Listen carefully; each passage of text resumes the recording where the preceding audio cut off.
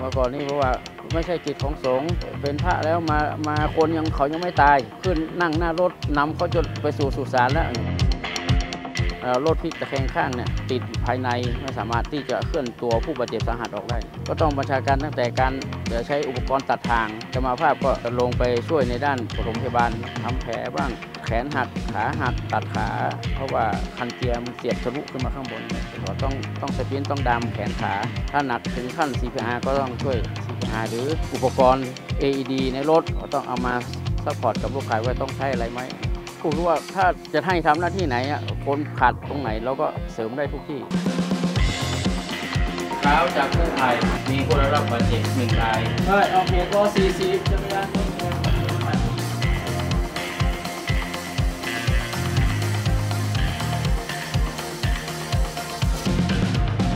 ทีนเอ็นพามารู้จักกับพระครูบาปรีชาพิวัตรหรือหลวงพี่เดี่ยว พระนักกู้ภัย ในพื้นที่อำเภอพร้าวจังหวัดเชียงใหม่ แม้หลายท่านจะมองว่างานกู้ภัยไม่ใช่กิจของสงฆ์แต่ท่านก็มุ่งมั่นทำภารกิจกู้ภัย คอยช่วยเหลือผู้ประสบอุบัติเหตุ และเหตุร้ายในทุกเวลาที่ว่างเว้นจากกิจของสงฆ์ถือว่าเป็นแสงสว่างแห่งความเมตตา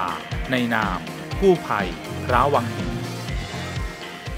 เหตุการณ์เนี่ยเนาะวัดทุ่งหลวงเนี่ยนะมันเป็นทางสายหลักของอำเภอพร้าวเข้าสู่ตัวเชียงใหม่อุบัติเหตุอะมีเยอะมาก แล้วมาเห็นตรงหน้าวัดเนี่ยเวลาเวลาผู้รับบาดเจ็บอาการสาหัสเนี่ย ส่วนใหญ่แล้วชาวบ้านก็ไม่กล้าที่จะช่วยเอาขึ้นรถไปส่งโรงพยาบาลกลัวคือว่ากลัวคนตายในรถของเขา เพราะส่วนใหญ่ชาวบ้านเมื่อก่อนๆเนี่ยยังไม่รู้นะว่าพระสงฆ์น่ะสามารถทำหน้าที่อะไรได้บ้าง ส่วนใหญ่ที่ชาวบ้านเห็นก็คือ บินทบาทกวาดลานวัดทำวัดสวดมนต์แล้วก็กินนิมนต์สงเคราะห์ศรัทธาประชาชน แต่ในงานกู้ชีพกู้ภัยเนี่ยยังไม่เคยมีว่ามีพระที่มาทำงานเกี่ยวกับงานกู้ชีพกู้ภัยสองสามปีแรกนี่ก็การวิพากษ์วิจารณ์ต่าง ๆ ก็มีเยอะอยู่ ทุกวันนี้ทุกองค์กรและหน่วยงานเนาะทั้งชาวบ้านประชาชน ทั้งหน่วยงานร้อยเวรทางหลวงก็ดีอะไรต่างๆเนี่ยพูดคือว่าถ้าไม่มีกู้ภัยเราจะทำยังไง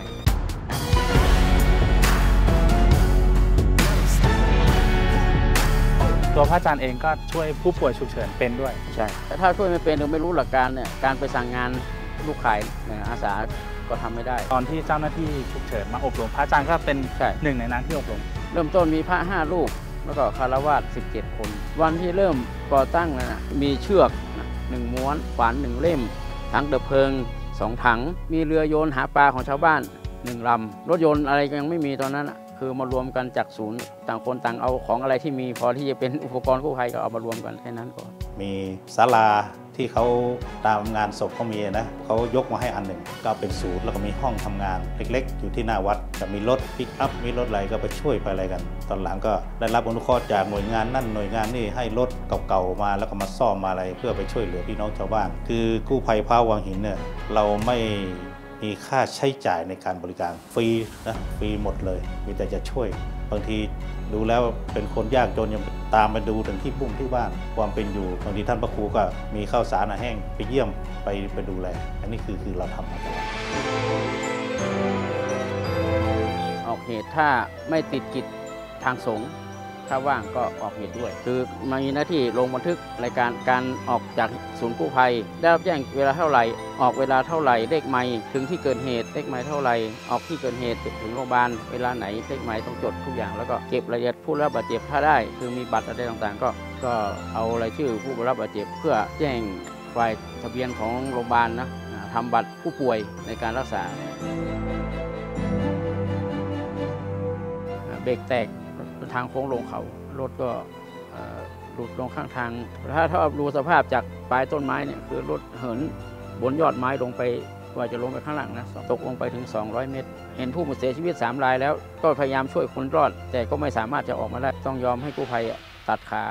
ข้างล่างเลย เพราะว่าคันเกียร์มันเสียบทะลุขึ้นมาข้างบน แล้วก็กระดูกข้างล่างนี่ก็แตกหักไปหมดแล้ว เหลือแต่เนื้อกับหนังกับเส้นเอ็นทั้งหลายที่ที่ยังอยู่รอบ ถ้าไม่งั้นถ้ารอเครื่องเดินทางจากนั้นมาก็เลือดหมดตัวตายอย่างนี้ก็ตาย 200 เมตร แพทย์พยาบาลก็ลงข้างล่างไม่ได้หรอกล่ะกู้ภัยอย่างเดียว จะเห็นแบบพระอาจารย์นะครับ ไปออกเหตุก็รู้สึกแปลกดีนะครับ ไม่เคยเห็นที่ไหนมาก่อนเลยก็คือ ตอนแรกก็เห็นแบบโอ้ก็ตกใจอยู่ทำไมมีพระมาออกเหตุอะไรอย่างนี้โดยอย่างเงี้ยก็แบบก็รู้สึกดีนะครับ ก็มีความมั่นใจแล้วก็อุ่นใจระดับหนึ่งนะครับที่ในการออกเหตุแล้วมี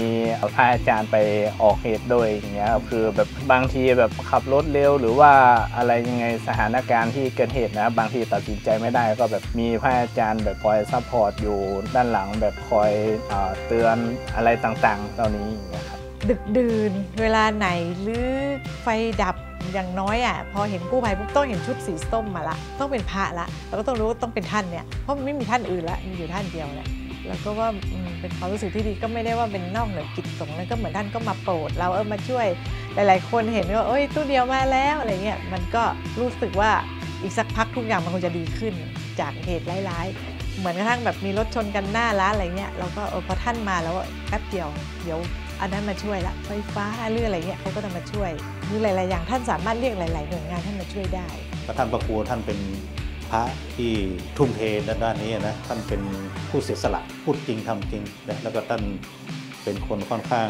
ไม่เห็นผลผลประโยชน์ตอบแทนนี่ท่านพระครูว่าบอสบ้านในคนตุกอะแปลงบอกเอาแปลงเลยคือเข้าใจกันตุกก็คือ ไม่มีใครจะช่วยนะเราก็สามารถเอางบส่วนไหนที่มันมีอยู่เอาส่วนนั้นไปสร้างพอเรานี่เราก็ประกาศนะจะสร้างบ้านคนนั้นคนนี้ถ่ายรูปถ่ายแล้วมันก็ได้เห็นว่า มันตุกจริงๆอืมนะมันมันไม่มีใครดูแลพอไปสร้างเนี่ยแทนที่เราตั้งงบประมาณสักแสนเนี่ยไม่ถึงเนี่ยคนนั้นมาช่วยคนนั้นมารับตรงนั้นตรงนั้นตรงนี้คนตรวจรถเป็นเจ้าภาพเขาเห็นเราก็อยากจะร่วมนะสร้างบ้านด้วยหลายหลังเลยตั้งแต่กู้ภัยมากันหลายหลายสิบหลังเลยนะ มันเกิดความภูมิใจอย่างน้อยชีวิตเขามีค่าขึ้นมานี่นี่คือคือสิ่งที่เราเราทำให้อันไหนที่มันทำแล้วชาวบ้านได้ประโยชน์สูงสุดมีความสุขแล้วก็เราทำหมด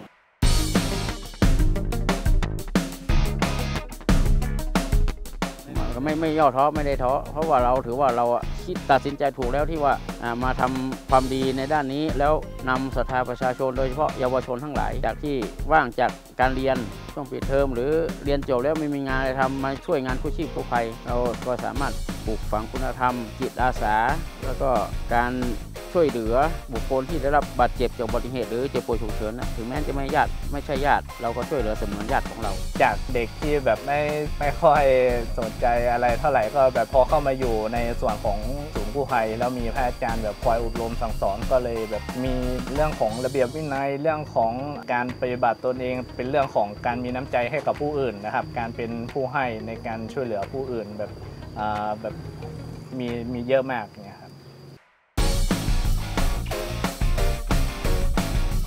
งบประมาณบริหารก็คือจากสถาชาวบ้านร่วมกันทำบุญบริจาคตั้งตู้บริจาคที่ผู้ภัย และเวลาจะจัดหาอุปกรณ์อะไรต่างๆ นี่ก็คือการจัดรับสายทานศรัทธาจากชาวบ้าน ร่วมกันบริจาคเป็นเป็นเป็นครั้งๆไปว่าช่วงนี้อุปกรณ์ไหนที่เราต้องการ อย่างรถตู้ที่ได้รับบริจาคจากสาธารณสุขจังหวัดมาเนี่ยเราก็เอามาตั้งว่าไฟรอบคันนี้เท่าไหร่ทุกอย่างในรถเราจะตีเป็นราคามา แล้วใครจะรับเป็นเจ้าภาพก็เซตกันไปแบบนี้การตรวจสอบงบประมาณต่างๆเนี่ยคือจะมาจะบริหารงานคือมีบัญชี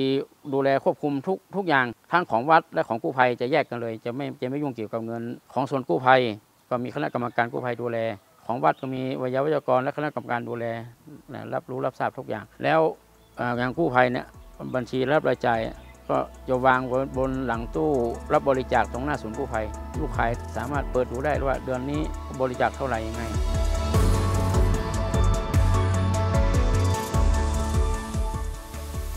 เมื่อพระอาจารย์เห็น ข่าวการทุจริตทั้งเกี่ยวกับวัดเนาะเกี่ยวกับพระ หรือว่าเกี่ยวกับเงินทอนวัดก็ตาม ในฐานะพระที่เป็นผู้ให้พระอาจารย์เห็นข่าวเหล่านั้น แล้วพระอาจารย์รู้สึกอย่างไรบ้างพูดถึงว่าข่าวในส่วนเกี่ยวกับเรื่องของคณะสงฆ์นะในในด้านลบทั้งหลายเนี่ยเราไม่ได้เอามาเป็นสาระที่จะมาตัดกำลังใจของเรา เพราะว่าเราในอยู่ในส่วนงานสารณสองเคราะห์เนี่ยพระสงฆ์ที่ทำงานทั่วประเทศมีเยอะมาก อันที่ที่มีเรื่องต่างๆเนี่ยเป็นส่วนน้อยของคณะสงฆ์นะคือเศษเสี้ยวหนึ่งแค่นั้นเอง แต่มันออกข่าวทุกทุกช่องทุกสื่อ มันก็เลยเป็นเรื่องประเด็นดังใช่ไหมจริงๆแล้วที่พระสงฆ์ทำงานด้านสาธารณสงเคราะห์มีเยอะมาก ถ้าถ้ารูปภาพของคณะสงฆ์ทั้งประเทศไทย หรือคณะสงฆ์ทั่วโลกในด้านการทำความดี ชาวบ้านเห็นแล้วเกิดความ ปิติอิ่มใจเนาะในการที่จะมีใจมาทำนุบำรุงพุทธศาสนาเนี่ยพุทธศาสนาเราก็จะเจริญเติบโตยิ่งยิ่งกว่านี้นะยิ่งกว่านี้ การที่มีหน่วยงานอย่างปปชเนี่ยเข้ามาช่วยเป็นหูเป็นตา หรือเข้ามาช่วยตรวจสอบมันช่วยให้เหตุการณ์เหล่านี้บรรเทาขึ้นไหมครับอาจารย์ มีคณะกรรมการนะฝ่ายตรวจสอบนะมันก็ดีดีนะเพราะว่าเป็นเกราะป้องกันให้ทั้งพระให้ทั้งอ่าพุทธศาสนาเนาะอย่างชาวพุทธเราเกราะป้องกันนะศีลห้าเป็นการเป็นเกราะป้องกันของชาวพุทธได้ได้ดีที่สุด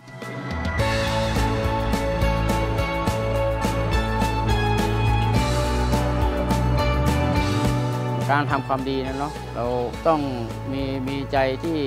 เข้มแข็งอดทน แล้วก็มุ่งมั่นตั้งใจในสิ่งที่เราจะทำนั้นมันจะสร้างพลังให้กับตัวเรา แต่บางครั้งบางทีการทำงานนะมันทำกับคนหมู่มากยังไงมันต้องมีอุปสรรคอยู่แล้วฉะนั้นเราก็ต้องมีอุดมการณ์แนวคิดของเราเป็นหลักว่าเราตั้งใจมาสร้างคุณประโยชน์ มาทำความดี มาสงเคราะห์ศรัทธาประชาชน เพื่อให้พี่น้องประชาชนได้รับการช่วยเหลืออะไรต่างๆ ถ้าเราต้องมีจิตใจที่ที่ที่เข้มแข็ง แล้วก็เอาใจเขามาใส่ใจเรา มันจะถึงมีมีพลังที่จะทำถ้าถ้าไปได้ยินคำที่เขาพูดติชินนินทามา หรือดราม่าอะไรต่างๆมา เราได้ยินมาแล้ว เราก็เอามามาคิดว่ามันเป็นจริงตามที่เขาว่าไหมถ้าเป็นจริง เราปรับปรุงตัวได้ได้เราก็ปรับปรุง แต่ถ้าไม่เป็นจริง เราทำดีอยู่แล้ว เขาว่า โดยไม่รู้ต้นสายไปเหตุอะไรต่างๆมา เราก็ถือว่าไม่ต้องเก็บมาใส่ใจ เพราะว่าสิ่งเหล่านี้นั้นเราตั้งใจทำดีแล้วทำดีทำดีแล้วต้องได้ดี การมีกู้ภัยพระวังหินทำให้การช่วยเหลือผู้คนในพื้นที่และใกล้เคียง เกิดขึ้นได้อย่างรวดเร็ว ลดอัตราการสูญเสียจากอุบัติเหตุ และยกระดับความปลอดภัยให้กับพื้นที่ได้เป็นอย่างดี ด้วยการบริหารงานด้วยความโปร่งใส ของพระครูปรีชาพิวัตรทำให้กู้ภัยพระวังหิน ยังเป็นเหมือนศูนย์รวมจิตใจ และพื้นที่แห่งความดีที่เกิดขึ้นกับชุมชนแห่งนี้ และนี่คือ พระครูปรีชาพิวัตรพระนักกู้ภัย คนดีต้องมีที่ยืน โลกต้องดีกว่า